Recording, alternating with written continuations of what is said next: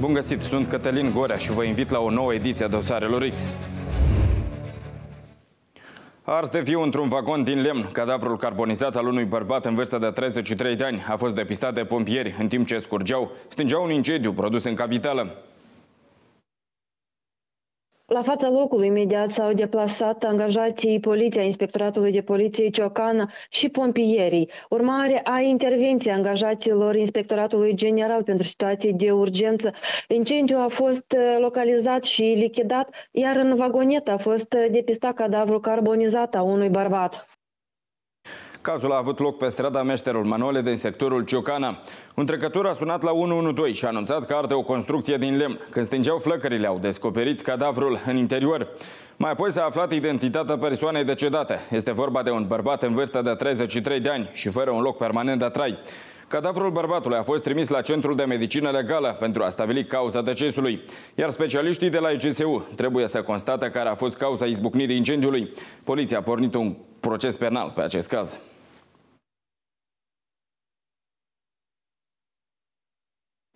Un bărbat din raionul Fălești riscă ani grei de închisoare pentru omorul soției. Procurorii anunță că au acumulat materiale suficiente pentru a aproba vinovăția inculpatului. Dosarul său a fost trimis în judecată. Este vorba despre un bărbat în vârstă de 63 de ani, care la sfârșitul lunii februarie și-a bătut soția în urma unui conflict. Femeia a ajuns la reanimare, iar peste două săptămâni a decedat din cauza unei traume puternice la cap. Fiind recunoscut și audiat în calitate de învinuit, bărbatul și-a recunoscut pe deplin vinovăția. În privința lui, judecătorii au aplicat măsura preventivă de nepărăsire a localității. Încă un bărbat va fi judecat pentru că și-a omorât soția. În cel de-al doilea caz, inculpatul în vârstă de 53 de ani din raionul Cimișlia și-a sugrumat concubina cu mâinile gole. Pentru a camufla crima, individul a sunat la 112 și le-a spus polițiștilor că femeia ar fi suferit un acces epileptic și s-a sufocat. Expertiza medico-legală însă a arătat că femeia a fost omorâtă.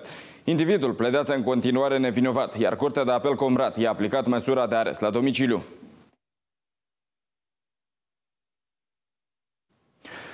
Iar un bărbat din Hâncești a fost condamnat la 10 ani și 8 luni de închisoare pentru tentativă de omor. Potrivit procurorilor, suspectul a atacat cu cuțitul un prieten și l-a rănit la gât. Incidentul a avut loc în luna ianuarie. Atunci individul în vârstă de 38 de ani, fiind în stare de ebrietate, a atacat cu cuțitul victima, un prieten de-al său în timp ce se afla în ospeție. Cel din urmă a opus rezistența și s-a ales cu leziuni corporale periculoase pentru viață. Acesta a fost rănit la gât și la umăr, însă a scăpat cu viață. Potrivit procurorilor, în cadrul ședinței de judecată, inculpatul nu și-a recunoscut vinovăția.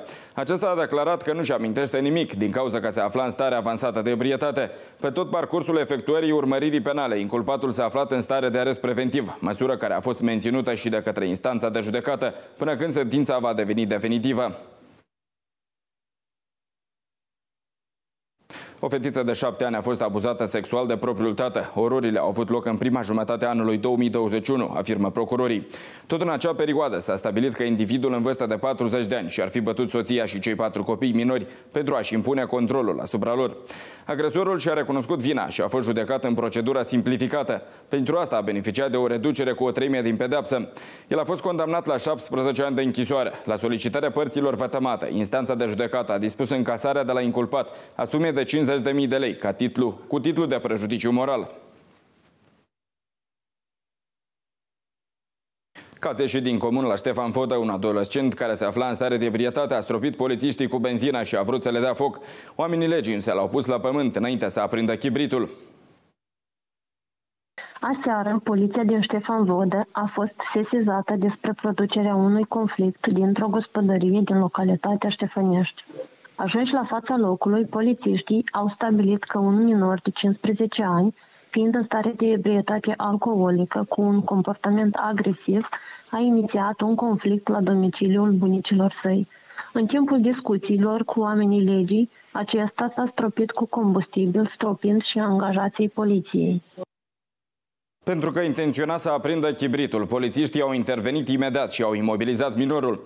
Adolescentul care se afla în vizorul poliției pentru mai multe infracțiuni a fost escortat la inspectorat pentru a fi documentat. Poliția afirmă că băiatul consumase alcool și se certase cu bunicii săi. Pericol pe drumurile publice. Un tânăr din Comrat a ajuns pe mâna poliției după ce a manifestat un comportament neadecvat. Acesta este acuzat că a urcat la volan după ce a consumat droguri.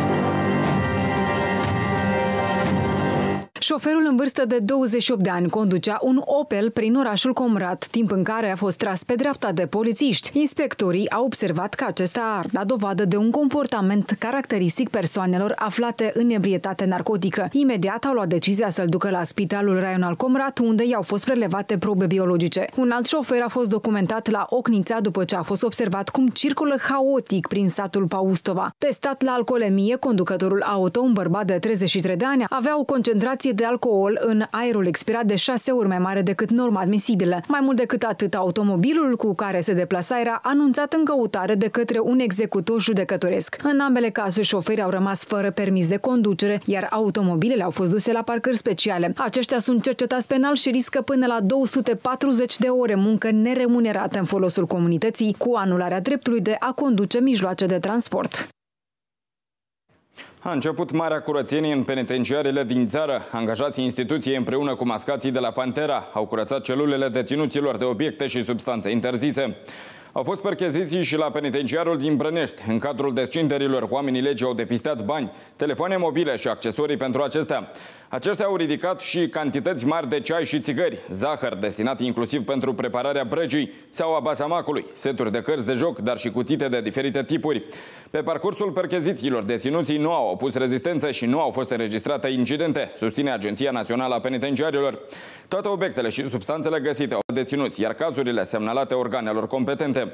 În preajma sărbătorilor pascale, în toate instituțiile penitenciare vor fi intensificate măsurile de siguranță și regim penitenciar, cu scopul de a preveni transmiterea și păstrarea bunurilor interzise în locurile de detenție.